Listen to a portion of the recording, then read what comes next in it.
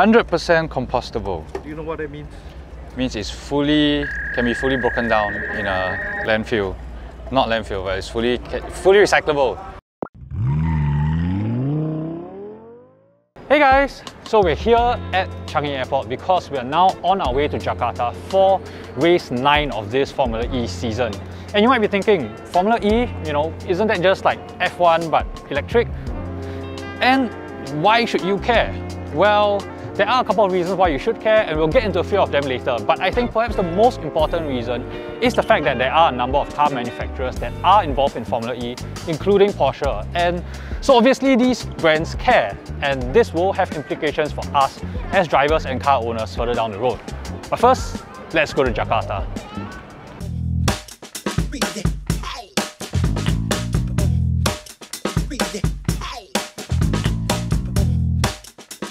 And I am now here in Jakarta and I'm here on the racetrack where the first ever Jakarta E-Prix is taking place here in Ancol Beach City. So something slightly different for Jakarta is the fact that this track is a purpose-built track specifically for this E-Prix and this is a departure from the street circuits in the city centres that you typically see for Formula E.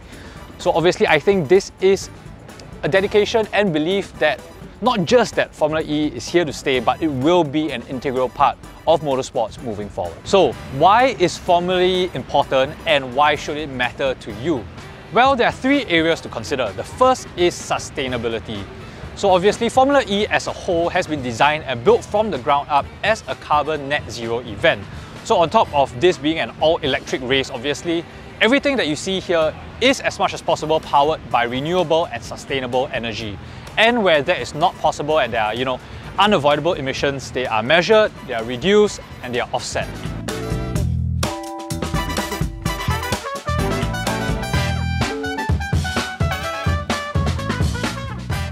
Formula E, understandably, is a great testbed for EV technology. So, you know, things like your ECU, your battery technology, software, stuff like that. I think we can expect Formula E not just to facilitate, but perhaps accelerate the development of EV technologies that will be relevant to our road cars as well.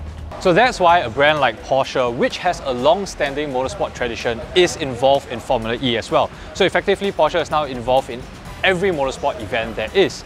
And specifically for a brand like Porsche, where motorsport is a big part of its DNA, and that translates to its road cars as well, right? So motorsport actually serves as a way to stress test its engineering solutions in the most extreme settings.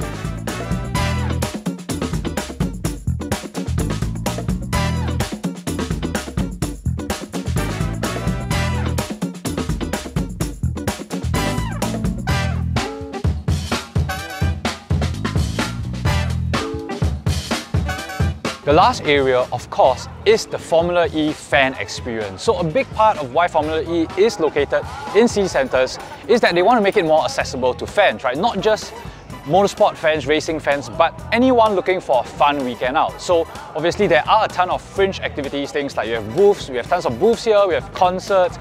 There's a lot of stuff going on and it's all about making it as interactive as possible. And we also got a chance to ride shotgun in the Taycan safety car. Ready? Yep. Yes. Oh Jesus Guys okay on the back? Yeah. Yes.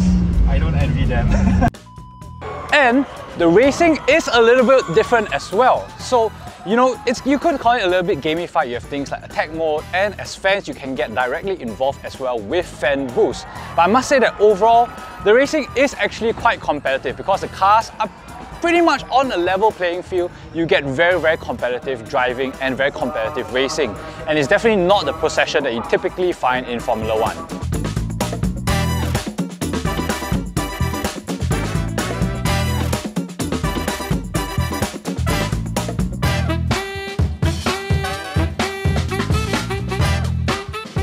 So as you can see, we're now on the grid because the cars are all formed up and they're about to race off in about 20 minutes. So I'm done with all my videoing for the day. It's time for me to go watch this race get started.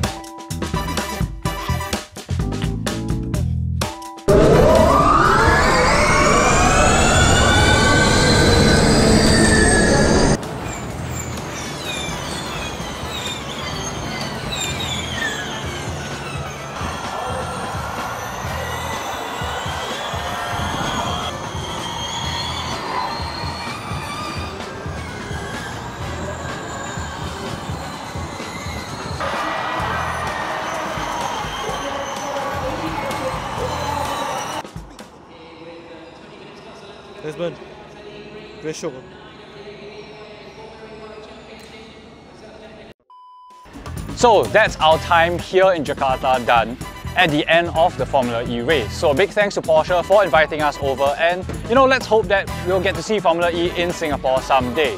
So that's all I have. Please like and subscribe to our channel and follow us on TikTok as well. We are at SG Carmart. So that's my time in Jakarta. I'll see you back home soon. Bye! In charge of the cabin, the customer service manager as well. And I'll be out. Candy stuff. But I'm not a candy man. Candy man. Safety car driver of Formula E. Great. Please go as quickly as you can. It's the many hots.